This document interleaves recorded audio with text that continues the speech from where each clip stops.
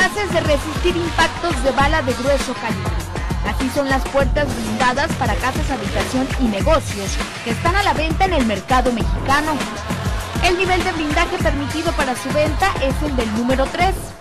La nivel 3 es específicamente para todas las armas que se pueden ocultar.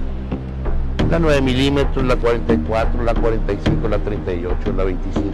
Todas aquellas armas pequeñas que se pueden ocultar y, que la gente tarde que temprano puede sorprender fácilmente. La elaboración de estas puertas está certificada por la Sedena. La 44 Magnum es una bala mucho más poderosa, mucho más gruesa, más pesada, con un torque, un golpe mucho más fuerte que la 9 milímetros. Y eh, a 5 metros podemos ver que todas perforaron. ¿Sabes? Ni una pasó, porque si nos ponemos a ver ahí adentro, de alguna u otra manera se quedaron, unas se quedaron en la superficie, otras alcanzaron a penetrar un poco pero el refuerzo está casi intacto. Podemos ver la potencia, esta bala viaja cerca de mil metros por segundo y ni siquiera abolló la lámina. Podemos ver en la parte de atrás que solamente estas tres balas fueron las que perforaron. La inercia y la fuerza con la que pasaron las balas ya fue tan poca que no volaron más de 30 o 35 metros eh, respecto a la puerta.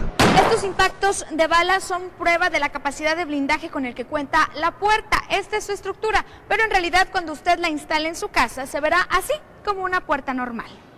La gama de colores y materiales es amplia y para todos los gustos. Hay puertas con recubrimiento de nogal y encino o madera en colores chocolate, rojo, negro, beige e incluso con ventanas que también están blindadas.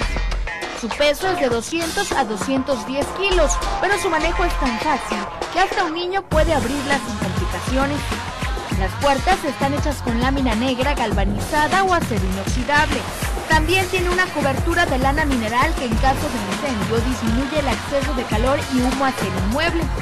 Un producto con una durabilidad de hasta 40 años que brinda seguridad y confianza en el lugar más sagrado, su casa. Con imágenes de Alfredo González, Karina Garza Ochoa, las noticias, Televisa Monterrey.